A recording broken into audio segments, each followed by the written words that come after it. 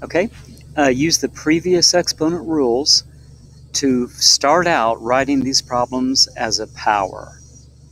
Okay, and remember the, the first three rules we looked at. When you multiply powers with the same base, you keep the base and add.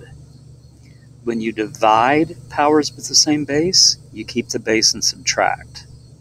When you take a power to a power, you keep the base and multiply.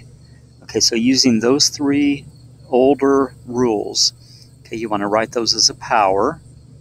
But then after you do that, you're going to end up with a negative exponent. So after you do that, you need to simplify the negative exponent so that you don't have a negative. You want to get a positive exponent in the denominator.